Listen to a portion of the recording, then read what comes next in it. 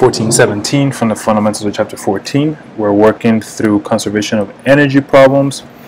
And this is probably one of the tougher ones we're going to be doing for these fundamental problem or this set of fundamental problems in this in this part of the chapter. Remember, there are various ways to tackle these problems. What I need you guys to get used to is just making sure your logic is good and then your problem setup is correct, which is always the hardest part, right? Um, so the, the way the book approximates or, or approaches this problem is they what they do is they set the zero potential right here. Okay? So it's a 75 pound block released from uh, rest 5 feet above the plate. Determine the compression of each spring when the block momentarily comes to rest after striking the plate right? So they approach it in this manner. So initially, what what this says is that um, if we add up all the all the um, energies in the beginning, you know, we're going to have the potential energy, gravitational potential energy. Uh, we're going to have the kinetic energy initially. So let's say at at state one, kinetic energy plus uh, two potential energies from springs AC and then uh, potential energy from spring B. All that equals to the potential energy, gravitational potential energy at state 2 plus the kinetic energy right, at state 2, plus 2 potential energies from the springs AC, plus the potential energy from spring B.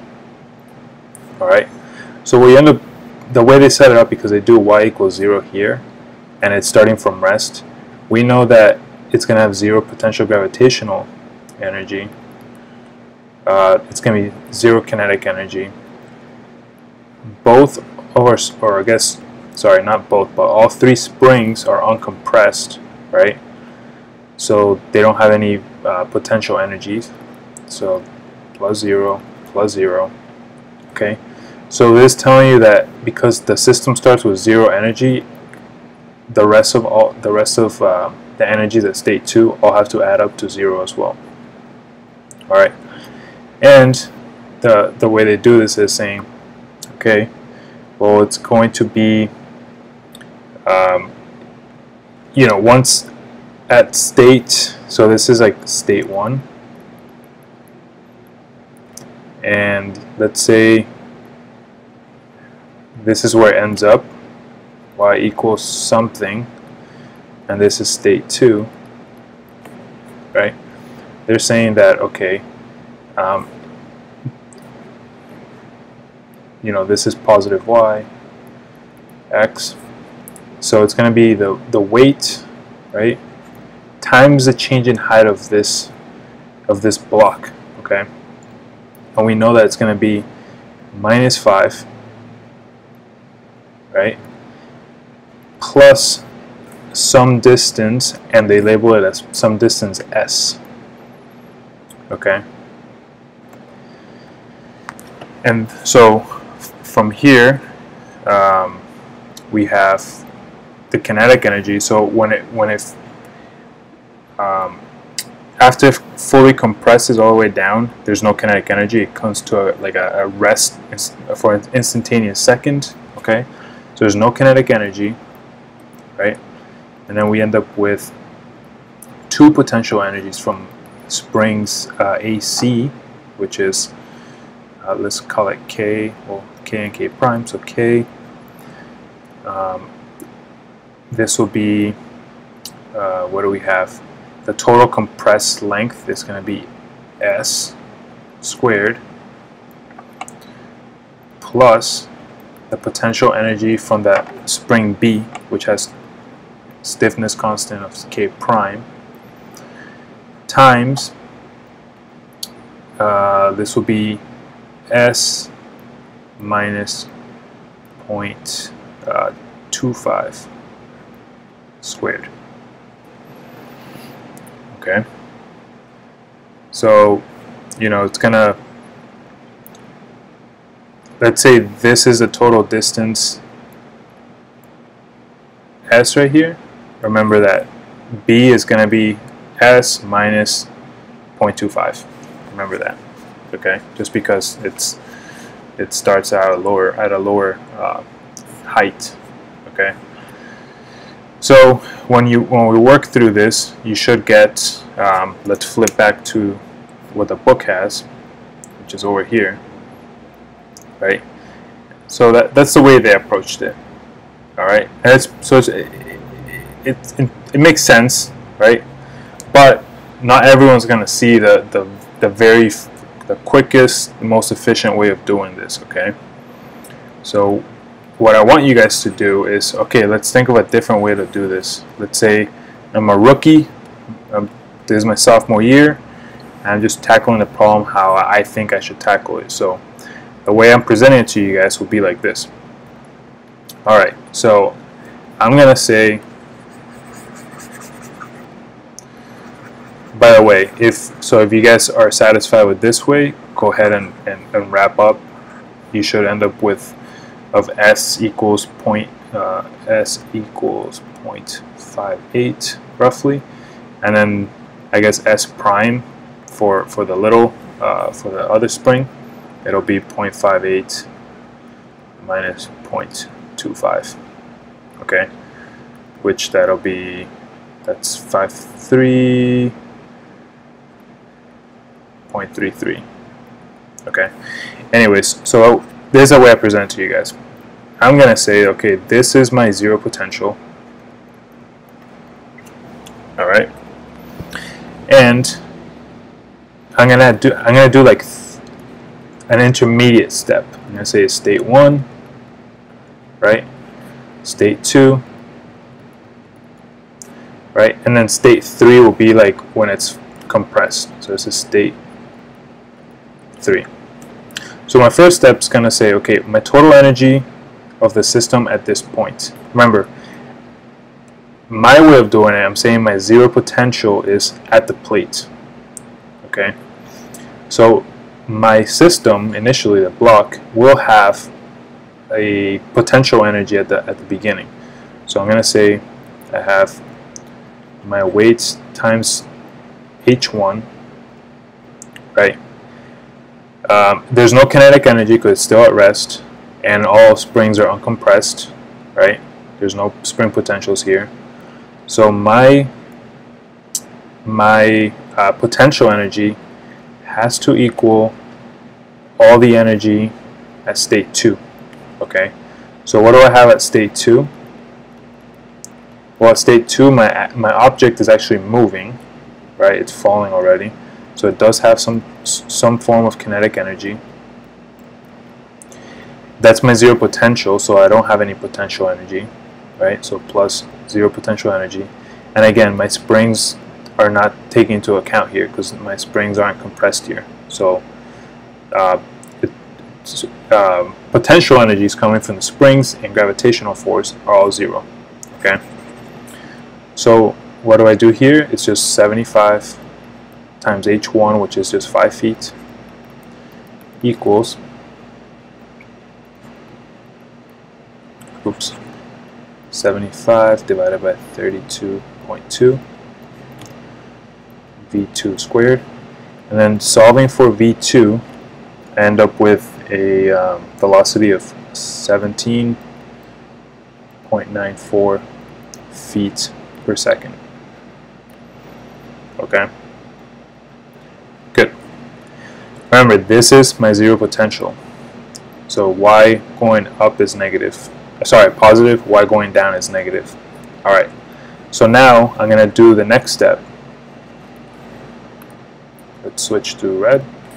So the next step, next step is my all this kinetic energy, right? So at state 2, I only have kinetic energy, right? So I only have one half uh, mv V2 squared, which we already have. This is energy at state 2.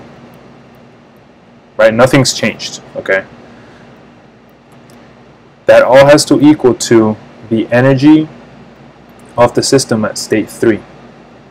Now, at state 3, my, my system or my block has had a change in height, okay? So that means I do have a, a gravitational potential energy uh, term, which we're going to have weight. Remember, this is my change in height,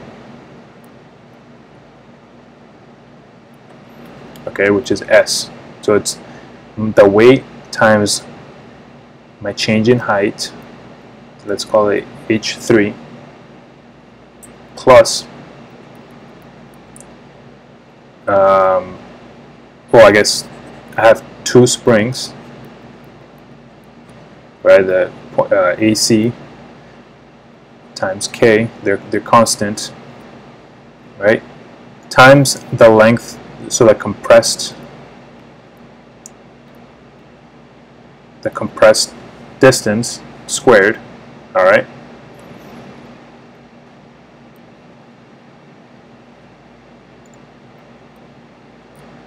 Um, and then I have my uh, last term, which is spring B, which is K prime, right? Times the distance S minus 0.25. So very similar, very similar to um, to what the book does, okay?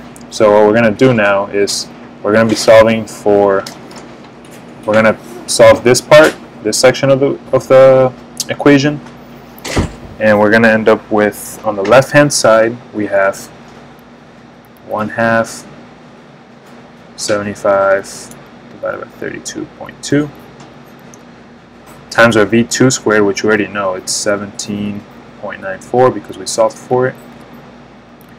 That's all equal to the weight, 75. H3, remember H3 is very important that you get the sign correctly. H3 is negative um, S, okay? So it's minus S, okay? Plus K, so we're gonna these two go away. S squared, actually let's just plug in the K here. So it's a thousand s squared plus 1 half times k prime, which is 1500, s minus 0.25 squared.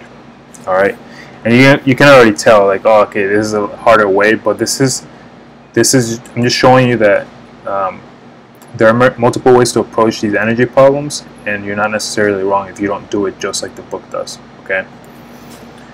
Um, but yeah, th this is a little more a little more complex just because we're going to end up with a quadratic equation. Um, so when you work all this out, what I had for my quadratic equation was 1750 s squared, right? Uh, you got a this term just for you know this term will end up being um, plus 0.0625. Don't forget to do the, the factoring here. Okay, equals that. Anyways, my quadratic equation here becomes 1750 s squared minus 50s uh, minus 327 point we I think I have 935 yeah 935 that sounds familiar when we solve this quadratic equation, we end up with a positive s and a negative uh, s. Right? Now I'm going with the positive s, which is 0.58 feet. Okay?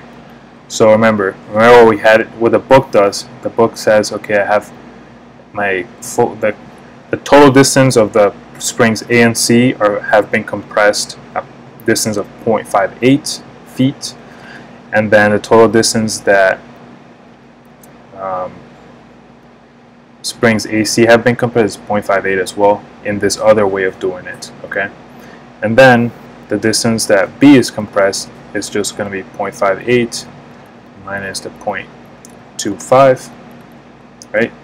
And then we end up with like 0.33 feet, all right? And that's that's pretty, and that's it. Um, so yes, the first way is you dialed in, you you you did it on one in one equation. Um, you know, you, you took the shortest route because you recognized it. Again, not everyone will recognize that. Some people will, do it in a couple steps. Um, but just know that if you're following the rules of the conservation of energy, you should be okay with doing it this other longer way. Okay. So here are two forms or two routes of, of uh, two approaches to solving the same problem. Okay. Um, just make sure your math is sound, your physics, uh, make sure you're applying the physics concepts correctly, and that way they won't fail you. Okay. Because physics don't lie. Alright guys, thanks so much for your time. I really appreciate it. And uh, if you have any questions, comments, just drop them down below. I'll try to get back to you. And don't forget to like and subscribe the video if you found it very useful. Um, I hope the best for you guys. Hopefully this, this video helped you guys out a lot. Thanks guys.